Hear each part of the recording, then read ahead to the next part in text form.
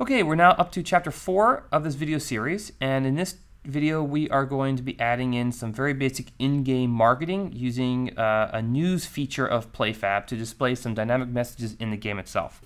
Um, and so if you go to the uh, uh, um, game manager here, you can see a news tab, articles. This is where you can basically create and edit articles to appear in the game. So let's go ahead and edit uh, two articles for ourselves.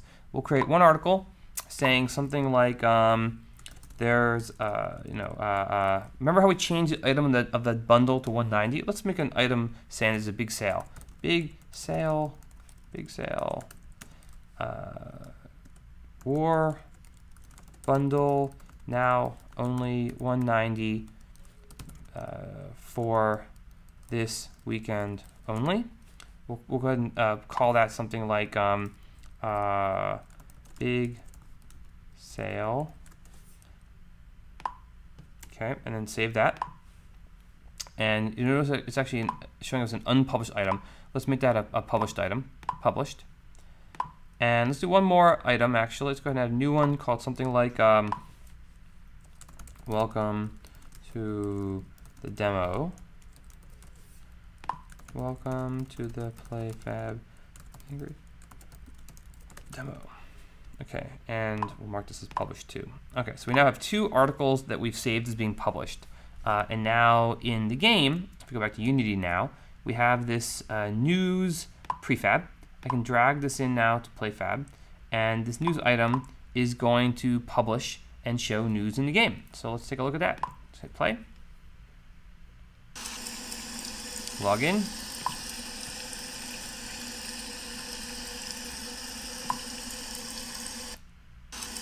Okay.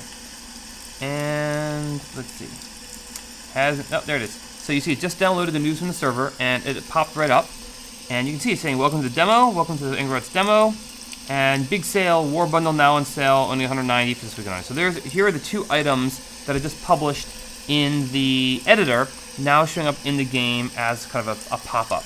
And uh, and of course you could put these messages anywhere. You're not limited to doing like a pop-up on login. You could also put them uh, in the in, in your store. You could put them as a message of the day. You could put them as an interstitial between levels. Uh, and you're also not limited to just text. I mean, right now, the only thing we let you edit in our current editor is text. Uh, but you could easily have as that text field, it could be a, a link to a, a, URL for an image. And actually, in the next version of this tool we're working on now, we're going to make it very easy for you to upload graphics and then include those graphics as interstitials or things in the game, which is pretty cool.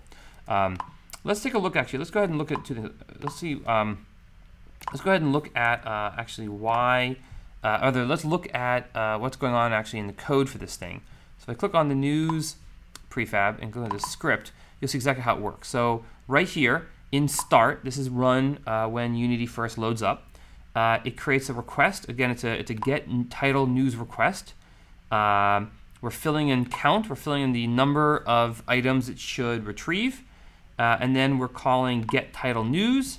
And then on success, it's going to call the on news result function, which right here takes a uh, passes in a, a result parameter, the get title news result parameter. Uh, and this is just going to be, if you, if you go and look at the documentation for this whole thing, let's go and look at, at the documentation for how this all works. It's down here under get title news. So here it is. So we, you pass in, this is get title news is the function. You pass in a count for how many news items you want, and you can see the response is an array of title news items, where each title news item is going to be a timestamp, a news ID, a title, and a body. Right, those are the parameters. And so if you go back to our own code, you can see that we're, we're getting back this get title news result and as a result. Um, we're, we're setting news to result.news. And then in the this is where we're actually going to be drawing the news right here. And you can see as part of drawing, we're just going to loop through the, the, the, count of all news items. And then for each one, uh, we're simply drawing, here we're drawing uh, the news title uh, and the news body, uh, as well as the, uh, the, the, the timestamp. And those are all the properties that we're getting just right here from the title news item. So that's a good example of calling a function on PlayFab, getting data back into the game, and then showing that data, the data in the game.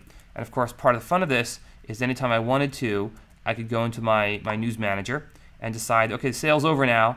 I'm going to uh, uh, take that sale item, call that archive so it goes away, save uh, the article now to gone, go back to my uh, Wrangler, uh, and set the price back from 190 back to let's say 220. Save that, go into my game manager, upload the um, upload that uh, changed catalog file. And now go back into the game. And now we're going to see that the news item, the, the ad is gone, and the price is back to where it was before.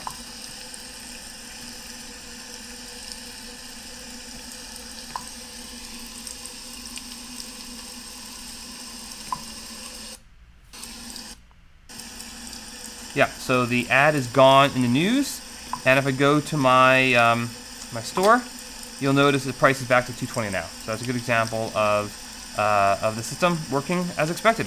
Okay, so that ends chapter four. Uh, in the next chapter, we are going to add. Uh, we're going to do some uh, custom title properties. So we'll see how you can set uh, key value pairs on the game title itself and use them inside the game.